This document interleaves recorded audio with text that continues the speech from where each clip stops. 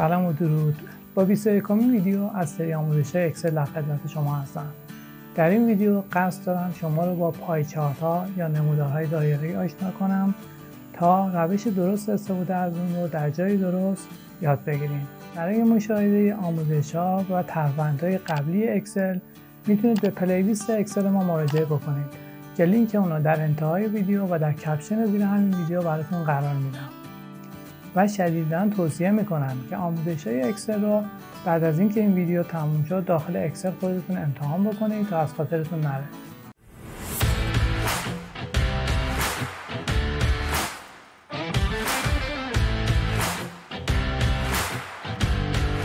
سلام مجدد خدمت شما عزیزان.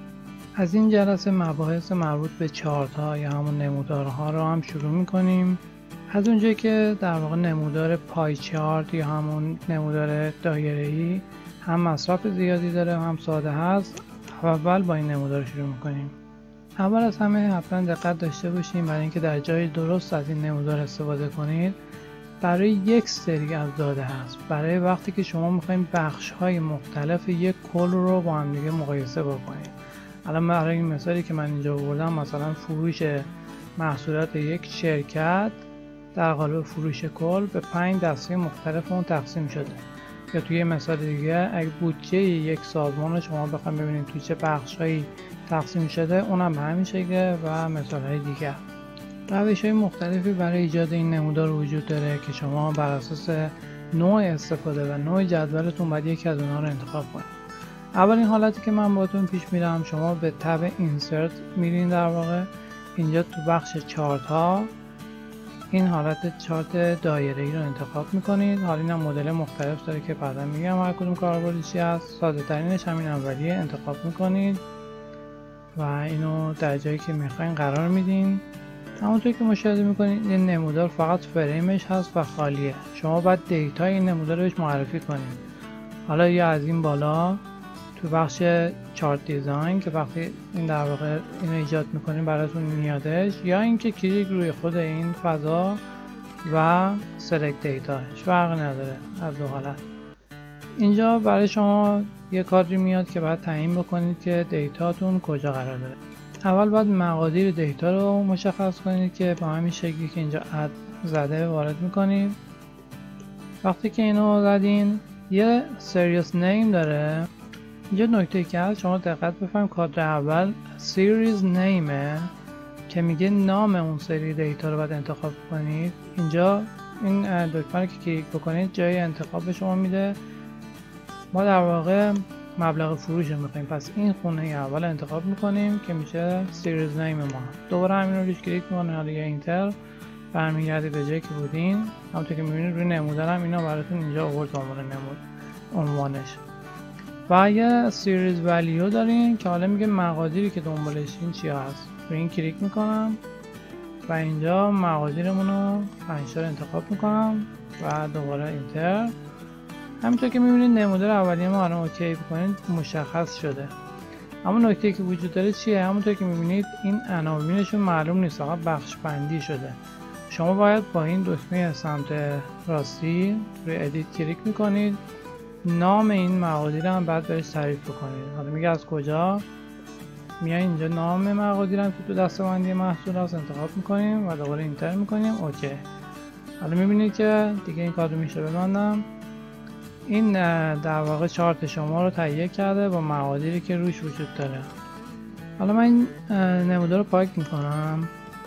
برای زمانی که دیتای شما منظم و در کنار هم دیگه باشه یه راه خیلی ساده تر که وجود داره.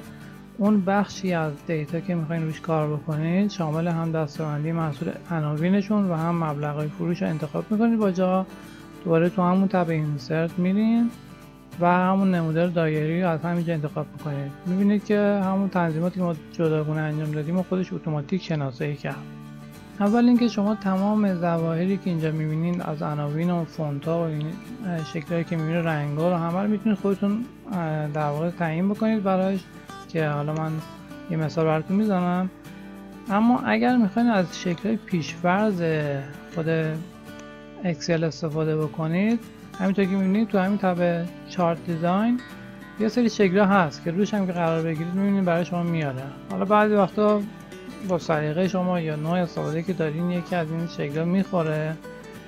ولی اگر که معمولا اینجوری نباشه خودتون می‌تونید جداگانه طراحیش کنید. این نمادی هم که این گوشه می‌بینید همون چارت استایل هست که بزنید مثل همونه که اون بالا دیدید یه نمایش پیشوردی هم نشون میده می‌تونید از اینجا هم انتخاب کنید یکی این شکل رو. یه نمادی هم اینجا داریم در واقع به علاوه هست که روش هم برین زده chart elements همینا این بالا هم در واقع هست می‌تونید از اینجا هم بیارید هم از اینجا هم می‌تونید دم راحت تره. حالا چیزایی که خیلی بیشتر پرکار بودن اینجا گذاشته. chart title ه که اگه شما تیکش رو بردارید می‌بینید اون title میره و دوباره قرار بدین. می‌تونید از اینجا تعیین بکنید که این چارت در وسط نمودار قرار بگیره که معمولا که نمودار ما جالب نمیشه. یا اینکه تو همون حالت بالای نمودار باشه. یه بخش دیتا لیبل داریم. چون معمولا دیدید تو نمودار معمولا لیبل هم استفاده می‌کنن. تیکش رو که بزنید لیبل ها رو مبالغ فروش ما هم رو خودش نشون داد.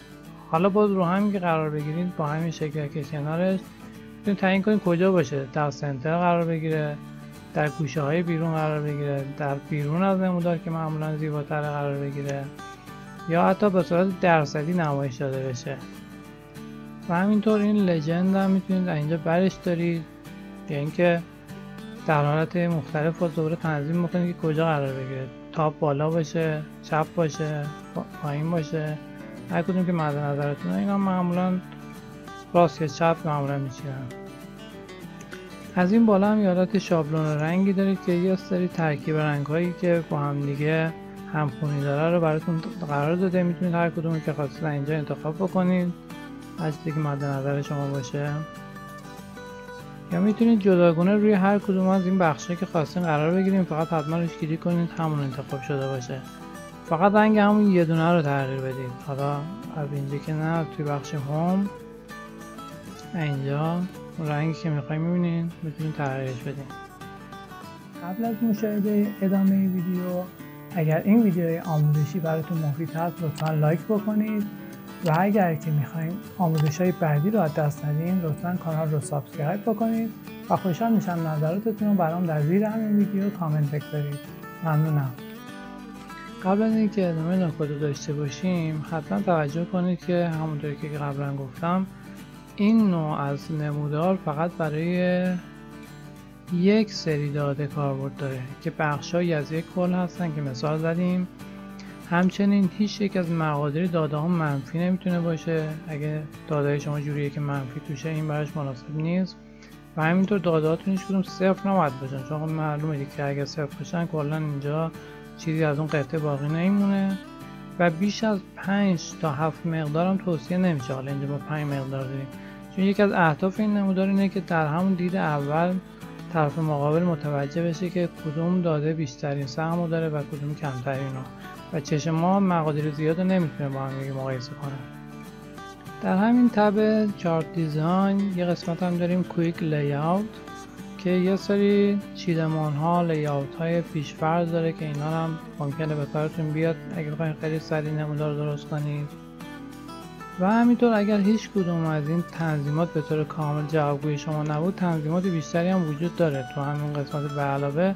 یا هر قسمتی که ما آوردیم دیدی که یه سری پیشفرضا داشت که با اونها می‌تونستین کارتون رو را اما اگه more option رو بزنید یا اصلا رو خود این همین نمودار double click کنید یه بخشی به صورت format chart title ایجاد میشه که در سه بخش و بخش زیر مجموعه که داره شما می‌تونید خیلی تنظیمات بیشتری رو برش بذارید. حالا دیگه من خیلی نمی‌خوام وارد جزئیات بشم موارد مهم رو به شما توضیح میدم. مثلا این بخش فیل هم که معلومه همون فیل کارری که ما تو همه بخش دیگه اکسل هم داریم فقط نکته مهم اینه شما قبل از اون کجا رو انتخاب کردید؟ اگر مثلا بخش سرز رو انتخاب کرده باشید اونجا رو فیل می‌کنه. یا اگر کل این انتخاب کرده باشید الان براتون می‌زنم ببینید مثلا کل اینو برای اینکه دلتون می‌خواد پس زمینه رو عوض می‌کنه. یا در بخش بوردر که مشخص حاشیه ها هستش بازم هر بخش رو که انتخاب کرده باشید تنظیمات رو اون بخش اعمال میشه. حاشیه ها رو رنگش و شفافیتش و عرضش و اینا رو همه میشه تغییر داد.